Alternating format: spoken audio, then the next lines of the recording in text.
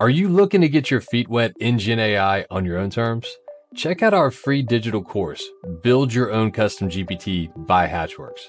In the course, we teach you step by step how to create your own custom GPT so you can start solving some specific problems and use cases in your business with Gen AI.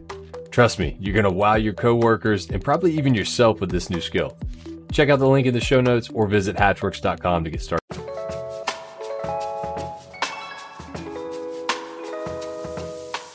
Welcome to Built Right, a podcast by Hatchworks where we help you learn to build the right digital product the right way. In each episode, we'll deconstruct the layers of successful product development, break down popular trends, and offer real advice to help make sure your product is built right. We may not have all the answers, but we've built a lot of digital products across a lot of industries, and we've seen a thing or two. Let's get into it.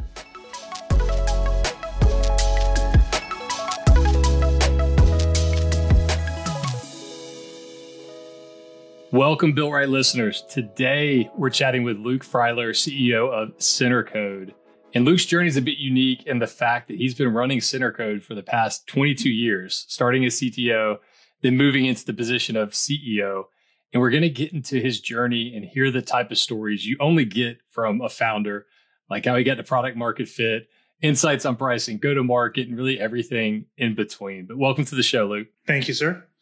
Alrighty. So instead of like, you know, Luke, you telling us what CenterCode does, I kind of want to take us back 22 years. Like go back to when you first realized this problem existed. It's a really cool story we were chatting about in advance. I want to get into that. Um, and you know, kind of take us there to kind of get into what CenterCode does. Absolutely. So I, I started my career from a, a, pretty young age in tech. I, I started out at Samsung, uh, quickly moved with a, a, big group of people over to Ericsson which at the time was a hundred year old, hundred thousand person tech company. And at the time, the internet was still pretty fresh and new, and, and I was young but excited and, and pretty invested in it. And, and specifically, the thing that really lit me up was just the idea of, of usability and, and what eventually became user experience. You know, back then, tech products were pretty much used by tech people, and, and anything that broke that mold was was pretty novel. So uh, I, on the other hand, had low patience despite being a, techie person and, and kind of grew up supporting, you know, the school network and printers and whatnot, and, and always thought there should be a better way. So that's kind of where my head was, and and where I was at Ericsson was running a, a web development team that handled any sort of web oriented functionality for the product that we were bringing to market. So firmware of the product itself, internal sites, public marketing sites, everything. So I had a group under me who were all again sort of young web developers and a product manager came to me and he said, Hey, I need you to run a beta test. And I, I kind of lit up and said, Okay, well, what does that mean? And, and he said, Well, what is a beta yeah, test? It's a it's a it's when you get a bunch of customers. And, and I was like, No, no, I, I know what a beta test is. I don't know what that means at Ericsson, right? We, we have a process for everything. I have a four inch guide on how to use the logo. Um, there, has got to be a, a path for me here so I don't have to just create it. And he was like, no, man, best I can tell, there, there isn't. You're going to have to just figure it out. And I said, okay, can I outsource it? Can I go find a vendor? And he said, sure. And I said, okay, I'll, I'll do that. Give me budget. So I started looking around, I started researching, and, and I quickly realized that it, it was a gap in the market. It, what I had discovered was this rare necessary evil in business, something that everybody sort of universally agrees is important, is, is positive, but it's hard. It's, it's challenging. The, the idea of I'm going to get a unfinished product and, and, give it to a bunch of strangers and, and, expect meaningful feedback that I can transform into a successful product. It's just a tall order. So at that point, I, I saw that opportunity. And, and, like I said, I was already kind of borderline obsessed with the, the future of usability and user experience and technology being more useful. And, and it all just kind of came together. And from there, I, I, decided after talking to many, many people and asking everyone I knew and everyone within their networks how they did this, I, I kind of realized that the challenge was it was something that happened episodically. Every once in a while, somebody would run a beta test for a product. Uh, back then, everything was waterfall development. So it was a good couple years between products. Product managers were heads down for a very long period of time. They would run a big beta test for eight or 12 weeks at the end of that but then there'd be another two years before they did it again. So as a result, they kind of forgot everything they learned.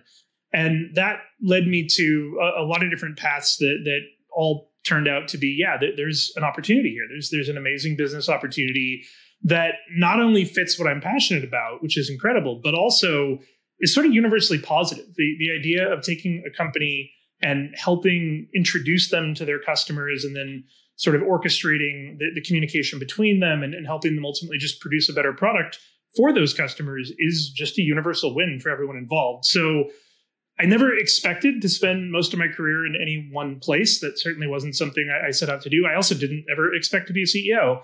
Um, I just kind of fell into something I loved and, and, invested heavily in it, you know, of my own personal time. And I, I don't see myself going anywhere. I, I, absolutely love it. And we get to work with many of the greatest brands ever uh, to bring products to, to billions of people. So it's awesome. Yeah. It's a lesson in, you know, we talk about the, the built right method at Hatchworks, and it's centered in building something that's valuable for the customer, viable for the business, and feasible, like the Marty Cagan kind of school of thought.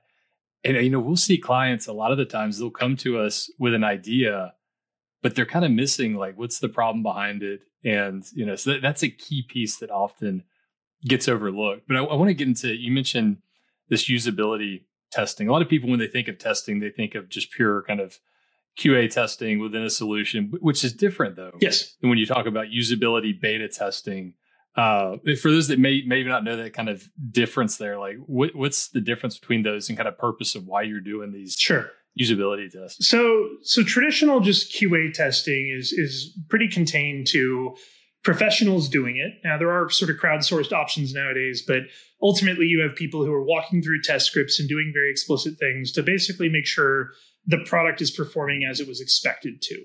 Um, on the other side of that, you have UX testing where it's much more focused on the experience and do people understand it? Is it producing an experience that, that actually gives them the outcome they want? Um, what we do is a little bit different, and the sense that it's all about real users, the, the people who actually have the problem the product solving that will buy the product eventually in their real environments, and then over a, a period of time. So Whereas a UX test is often um, observatory, we're, we're, watching somebody do something and taking notes and taking action from that, and it's very qualitative in that sense. Um, what we're doing is bringing something a little broader, and it's more about okay, how do these real people adopt the product over time? How do they use the product in their real environments? Which then naturally leads to a lot of quality issues that you're not necessarily going to find in a, lab, a lab. And many people do immediately recognize beta as a bug hunt, and that's certainly a critical part of it because the real world does just uncover an enormous amount of situations and scenarios that that an, a business environment wouldn't. Um, but it goes far beyond that. And from our perspective, we're always looking for three things, and we're looking for issues in the product. You know, what's it not doing that that it that it is supposed to be doing? Uh, what's not behaving as the customer expects it to? We're looking for ideas, what could be improved in the product, either small improvements all the way to features that could end up in future versions or, or what competitors are doing that might be an expectation they didn't see coming. And then the last thing we're looking for is, is, praise. What do people love about the product? What is it that, that really stands out to them? And what could be promoted to grow the audience? And those three things together issues, ideas, and praise you know, we sort of paraphrase it as fix, improve, promote. Um, that's what we're going for is we're trying to look at this product in, in that real world and say, okay, how can we maximize the success of this product and, and how can we use a, an audience of enthusiastic volunteers to make that happen I wonder if this is another one or if it fits into like the, the idea improve category, but we'll see a lot of times when, you know, a product actually gets into the hands of end users, they start using the tool in unintended ways. And the initial reactions like, oh man, that's the wrong way, you're doing it wrong. But they may unearth like whole new ideas yes with how to use the solution and get value from the solution. Oh yeah, right? it, it, that that promote side and, and the praise is where you find the things about your product, you know, that that happen that, that are just happy accidents.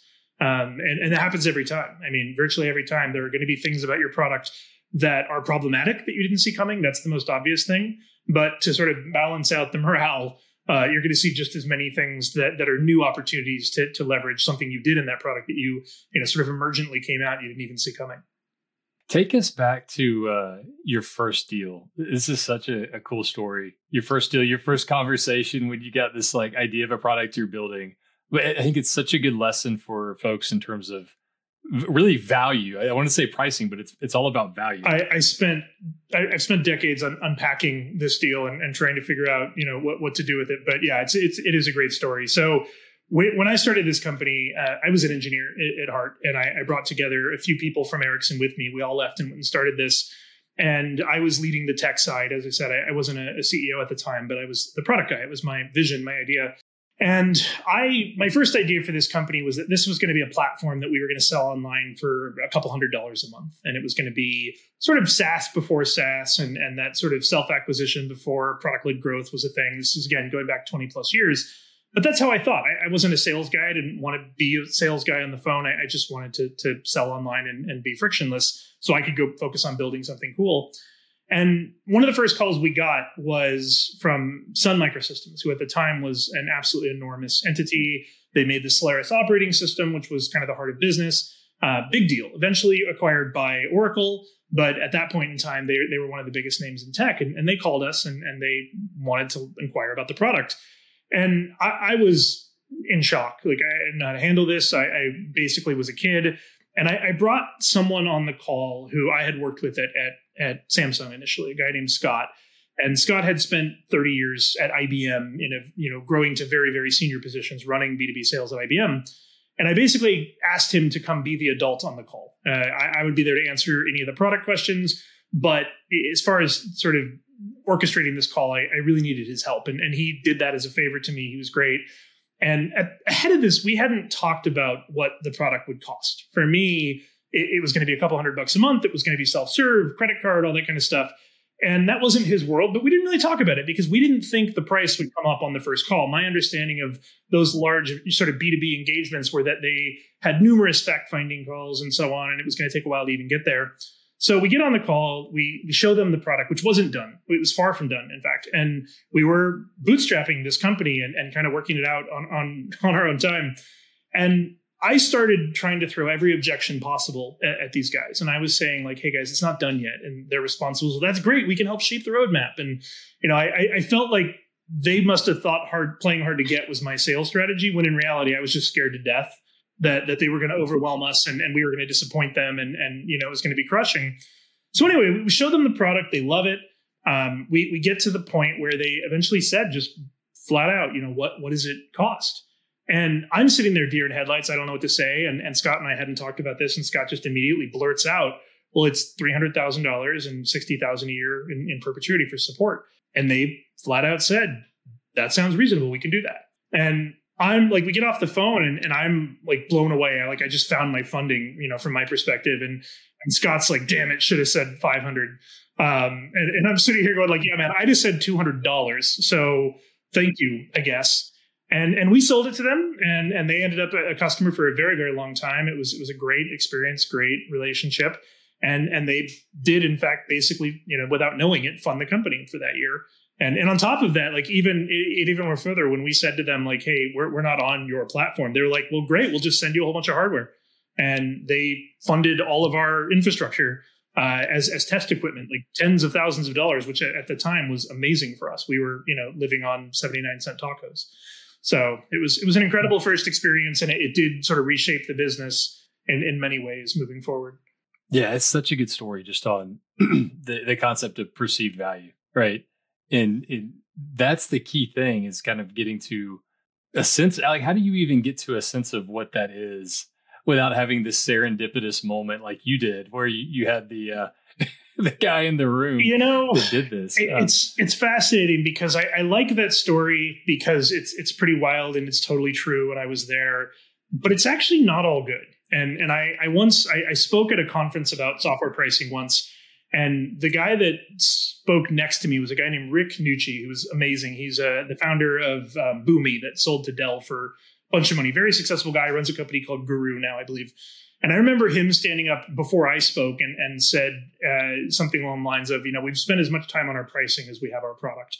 And I like literally laughed out loud in, in the audience. And the reason was because what I was writing or talking about to that group that day, um, this was some sort of SaaS conference, is uh, sort of our journey of pricing and how every price we ever had, like the pricing we have today, could not look more different than that first price. It's actually, in, in a lot of ways, closer to my first vision for the company, ironically. But every price we had for about a decade and a half after that um, had some roots in that original price that we made up on the fly.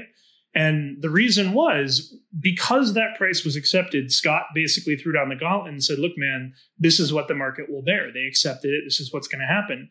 And what we recognized later is that they were actually a unique company in a unique situation. What, what they had was an operating system to test. And if you think about it, operating systems were basically the first agile developed products in tech because you couldn't just sit on your hands for two years in between updates. There was security problems, there's compatibility issues constantly coming out. So people have been patching uh, operating systems frequently forever. And where I'm getting at with this is, is they had a unique need that we didn't understand was a unique need, yet we pinned that as the market. And for years after, and I used to have this, this deck that kind of beautifully outlined this, every price that we came up with from there, every new model we came up with was somehow traced back to that original price. So if it was first 300,000 with 60,000 in support, I would make the argument of, oh, let's get it down to 120,000 a year, but now it's 120,000 a year. So over a certain course, it's the same amount of money. Then we would get and say, okay, well, our average customer has six seats, uh, six full-time users who live in this product. So let's sell it for $20,000 a seat. And I, I could actually trace back like a decade and a half of pricing strategies that were all hooked to this idea of we don't want to give up or cannibalize that very first customer.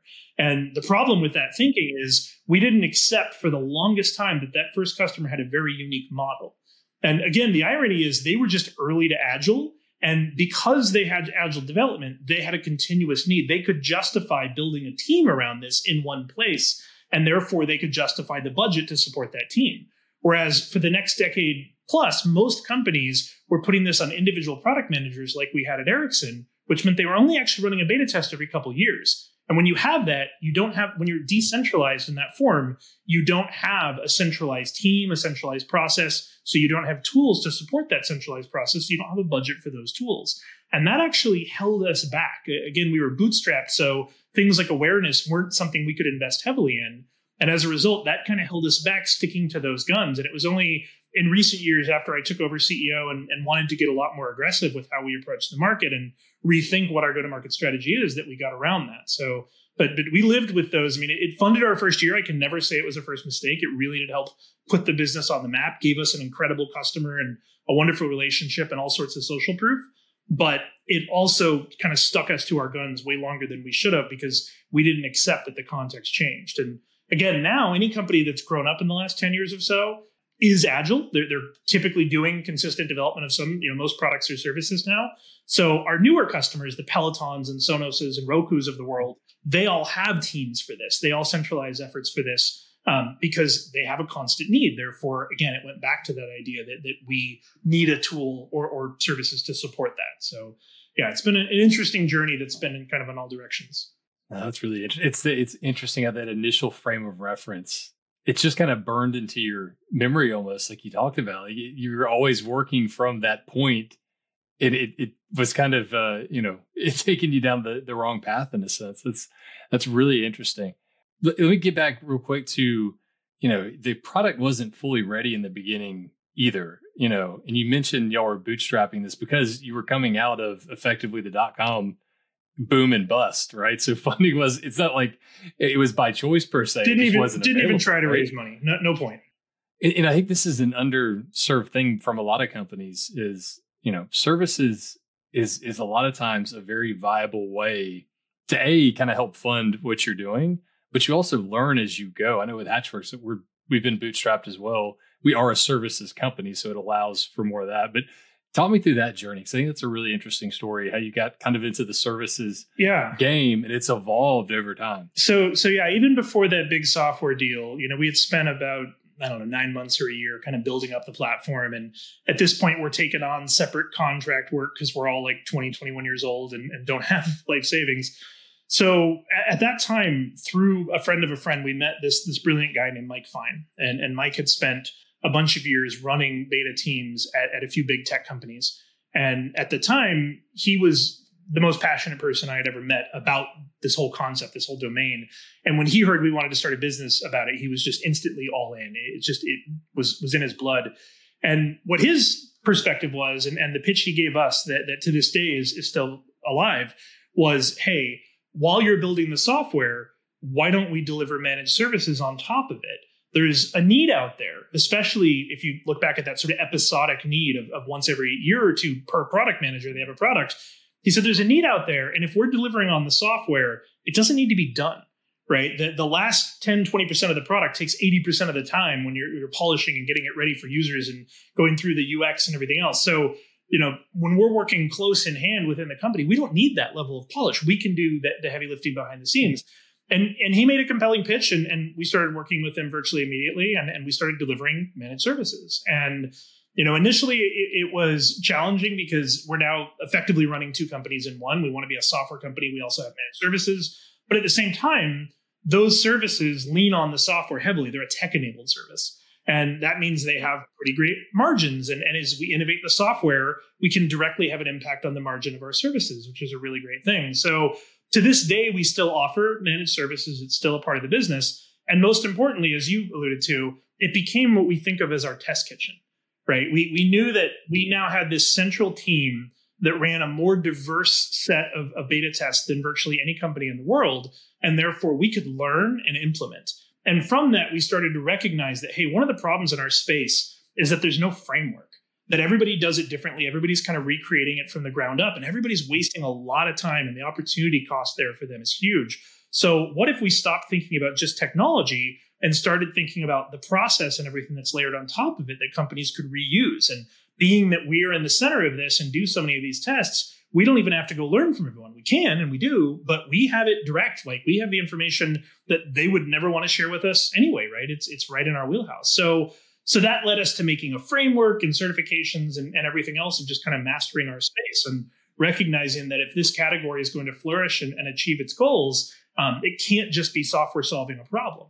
And and therefore you need, you know, in IT, the typical way is you know software process and people put those three sort of things together to achieve something. And we recognized that we had the software and that's what we were focusing on. The people were our customers. And ironically the process we'd already been doing but never really thought about it as a gap. So it's been a while now since we implemented that. It's been pretty successful for us. We've been very happy with it. But our goal was to just get rid of that first thousand hours that every company was going to have to use to, to reinvent their own wheel. And it's been it's been great services to this day are a big part of our business and, and I likely will be indefinitely. You, kind of hit on the topic there. It's the, the dog fooding uh, uh, um, element of it, right? Where you're using your own product to enhance the product. How do you think of that in terms of, you know, thinking about your own ro- roadmap for your product? How you think about, you know, prioritizing your backlog? Like what's going through your mind? Because there's all kinds of different levers from taking care of technical debt to new features to like what, what's your approach to that? So I, am uniquely positioned to, to think about that probably more than most CEOs because I am very much a, a product driven CEO. I, I, still lead our roadmap. I'm still, I, I, live in Figma like a product manager would. It is like I wake up Saturday mornings and, and work in Figma for fun. Um, I'm just that kind of nerd. So for me, I, am very, very involved and I beg my accounts team to get me roadmap meetings with literally every customer possible. I show them everything we're working on. I take feedback in, in real time. I prioritize it from there.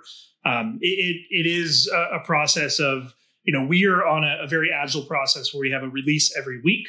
Uh, which is typically faced, facing bug fixes and small improvements. And then we have a feature release, a significant feature release every month. And at any given time, we're working on three to four months of those with different subsets of devs. So for us, it's very interactive with our customers. We're in the process right now of shifting. In fact, we'll be announcing it. It, actually might already be on our What's New page, but if not, it will be this weekend.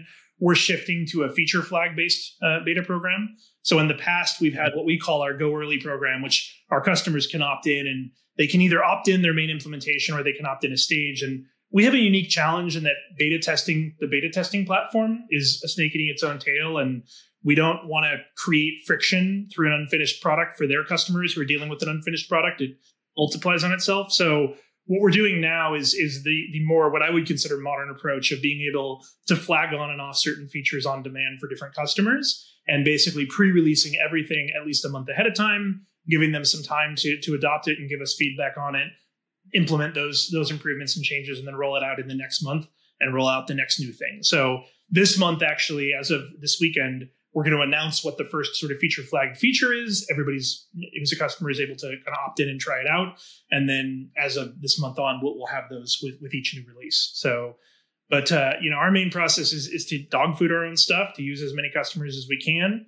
Uh, there's a lot of challenges with that. Like I said, snake eating its own tail, and our customers are very busy. But thankfully, we got a lot of tactics and tools to, to get past that. So it's, it's been pretty successful for us. And you talked about Agile in this uh, process of releasing every week and all of that. How long has that been going on? Like, is did y'all were y'all Agile from the very beginning, back when it was like this this new novel concept of something? No, no. So, so, so yes and no. In fact, I, and I think many companies have gone through some variant of this, and, and I'm always willing to, to follow my sword and talk about it. We were agile from a very early age, and, and I just fell in love with it. I, I think I was CTO at the time, and I remember my first write up to the company about you know how interesting and, and amazing it would be to finish a feature and get it in, in, people's hands, right? The main pitch for Agile was rather than doing a big release, you know, infrequently where half the features are done and sit on a shelf for six months while the other half get done, um, and therefore they're not producing value for your customers. And when people are paying for something, you know, monthly or annually, they want persistent value. They're paying for a service. Uh, it just clicked in my head. Like there's a few things in my career that immediately just like, oh my god, that's amazing. Why aren't we doing that? Content marketing was one. I absolutely love it. This was another. Um, so we tried it and and we built our own system and and we did it kind of our own way and and we failed miserably. Uh, it just did not go well. And part of it was at that point the enterprise was not super savvy to agile delivery or acceptance. In other words, they didn't want releases to come that quickly. And when you have a company who builds a process and builds a team on top of a platform, they need you know a lot of, of, of time to redo kind of how that team works and anything you change can disrupt that team so we, we were at this situation where we were capable of releasing monthly but we have customers who are basically saying yeah i only want it quarterly or i only want it every year even and and we're sitting here going, okay, what well, are you talking about every week? these guys are going to get it every month, and these guys are going to get it once a year, and we're going to support the eleven that they don't have, and and it was just a nightmare. So eventually, we basically walked away and said, okay, we're not going to do Agile anymore. We're still going to operate Agile internally, but we're not going to release Agile because we'd gotten used to it and started to like it, but our customers weren't accepting of it. And so then at that point, we're releasing every like three to six months. We'll do a big meaty release just because at that time our customers were pretty much exclusively enterprise, and, and that's what made sense. And as we built a bigger team and our engineers got more confident and we put project management in, in place and whatnot, we started to get pretty confident that we could do the rollouts in a better way. And more importantly, the you know this is what happens. Everybody kind of matured and it became the norm. And it's you know it's the companies like Slack and whatnot that don't give you a choice, and therefore everybody kind of got used to it. So now, and I'd say for about a year now, no, two years now, um, we've been yeah more than that I don't know how long. For a long time now, we've been pure agile doing these monthly releases. You'd have to go through the mega backlog that is our, our what's new site. Uh, and, and our customers seem fine with it. Every once in a while, you'll get a little bit of pushback on something um, because we didn't do a good job of, of, prepping them for it. And we've done some interesting things that you know we we question, we constantly experiment. Like we always release our release notes early now, and I still question if that's the right idea or not. There's pros and cons to it.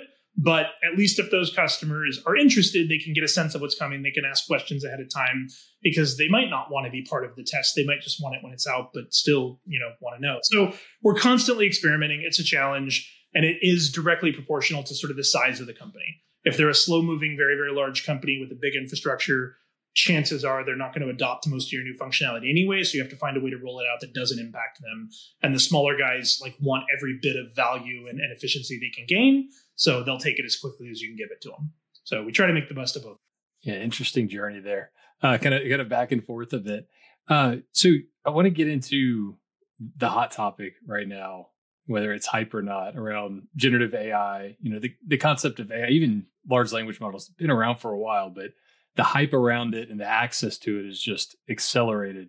I'm curious from your perspective, how does that impact you know your business your product the concept of usability testing are there any just like views you have of the future of how things just completely stepwise change from what they are today related to your world or do you see it as this you know just it's hype and it'll die down and oh I, not I, much change? I definitely don't see it as just hype. I mean obviously there's a hype component to it but i, I think it's incredible and I, have been fascinated since like day two.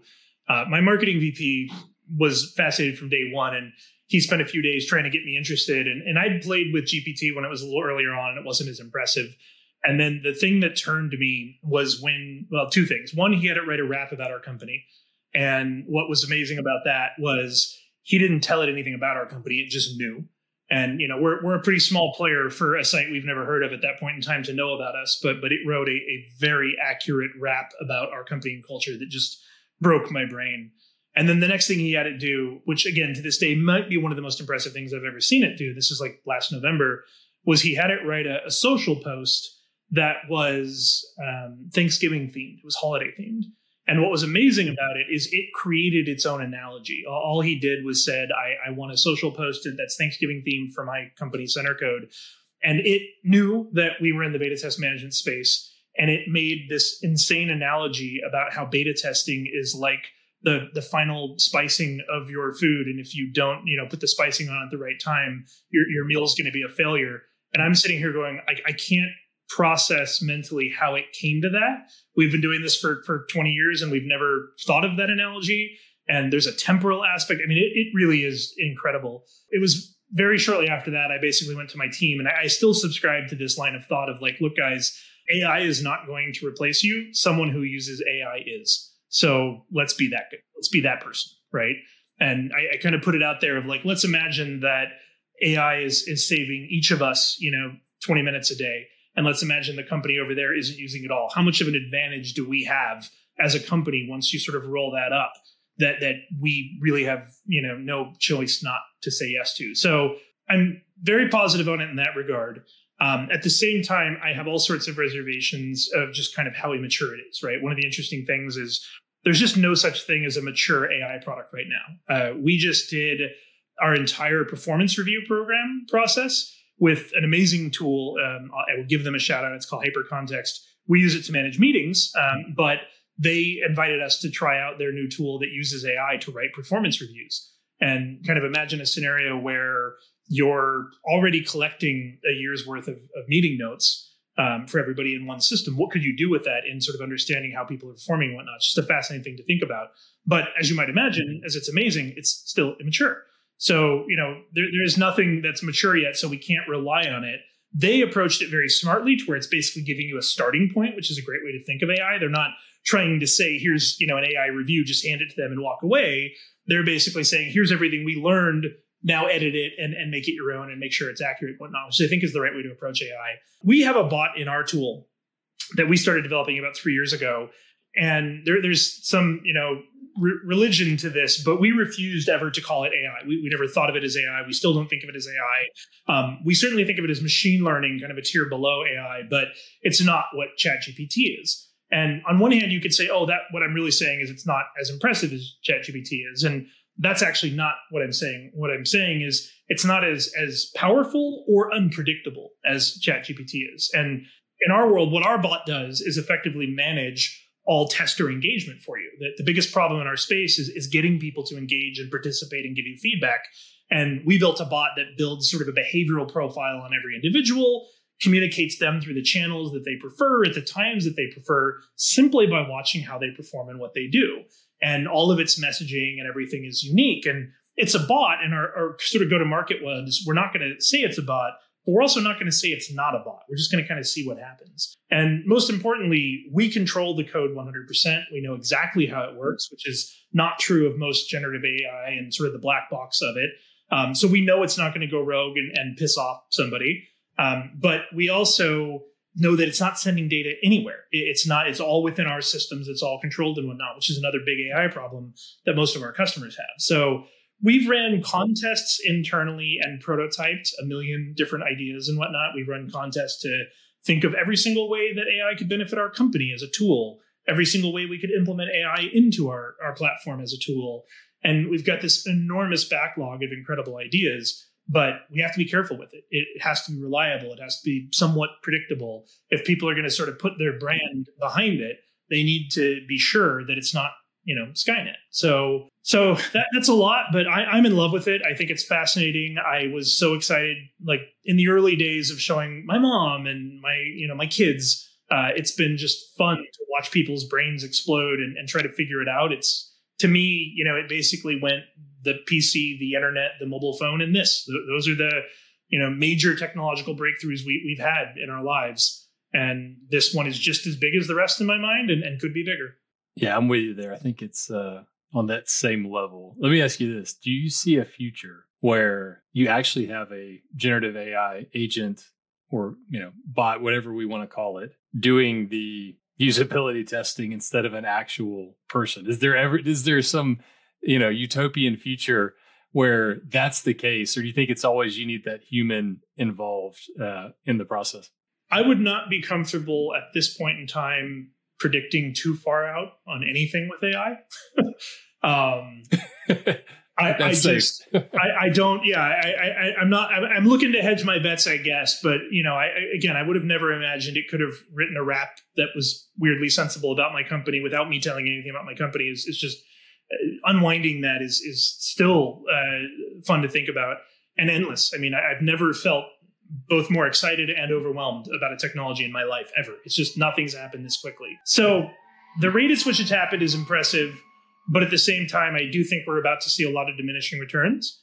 I, I think they kind of had it under wraps for a long time while they did a lot of the back work and, and then they exposed it and it moved really quick for a little while. But again, I think that's because that was already done. They just hadn't really rolled it out yet. They weren't confident in it. Now I think we're starting to see a little bit of a slowdown. But now what's cool about AI is we're moving from the tech being the impressive part. And now the impressive part is the creativity of all of the developers who now have access to that new thing and can think about entirely new ideas that, that aren't out there. So back to your question though, I think there will be a level of, of user testing and product testing that happens in the AI space. I mean, I, I know there's already companies working on it. We've talked about it. We've thought about it. It'll happen. Will it ever fully replace? I doubt it. In part, again, not knowing where it goes, who knows? If it's, you know, on a robot in your house that can walk around, then it's a whole different game. But um, there's a lot of things that that happen in the physical space and have to do with humans and whatnot that are very, very, very difficult to predict. But could it, you know, like all things, take out the the twenty percent of stuff that wasn't quite obvious but is predictable? Yeah, it, it could definitely do that and, and will. But depending on the product, just the nature of, of what technology is, I think you're always going to have to be testing what comes next.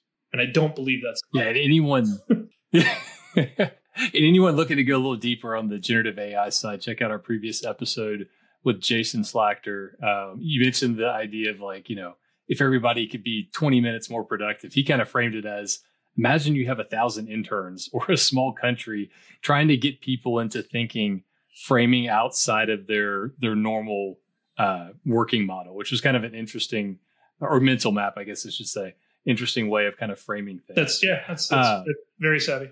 Yeah, but Luke, I really appreciate the the time today. Uh, and where can folks find you? Find Centercode. What's the best way to find y'all? Yeah, absolutely. So centercode.com uh, is is the website, as you might imagine. Uh, my email is just luke at centercode.com. I'm, I'm not nearly as active on on the social media as I should be. So while I am on LinkedIn and, and you can connect with me and whatnot, uh, I'm also just kind of an old school emailing guy. So feel free to, to shoot me a message.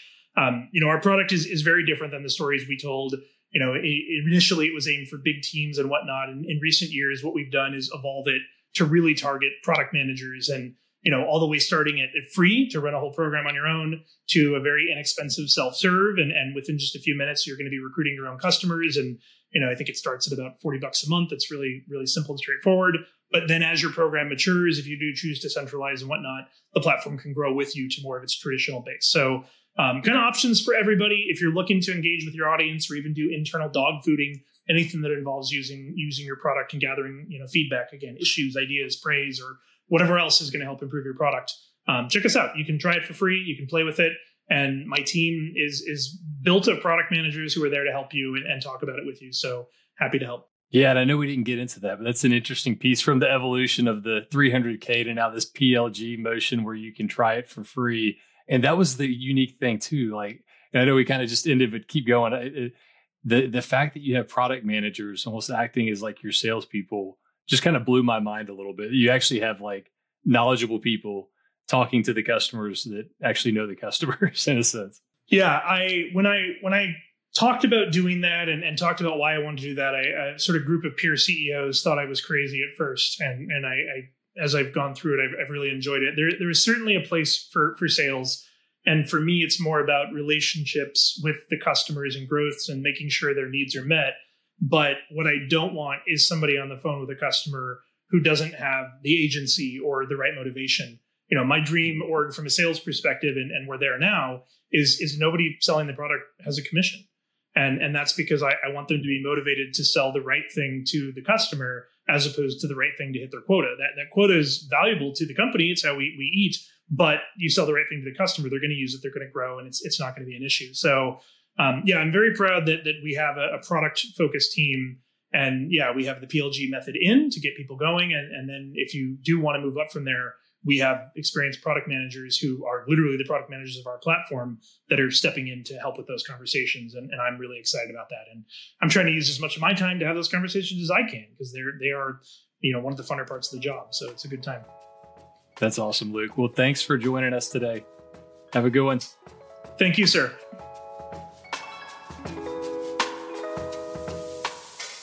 Thanks for listening to built right if you enjoyed the show, give us a follow or subscribe on your favorite podcast platform.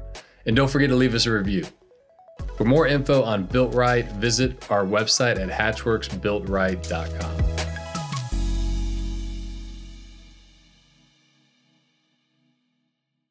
Big news season two of the Built Right podcast is right around the corner, launching on February 6th. And in this season, we're going all in on generative AI. The guest list is insane, ranging from international AI speakers, founders of Gen AI products, experts in specific domains of Gen AI, and leaders across industries.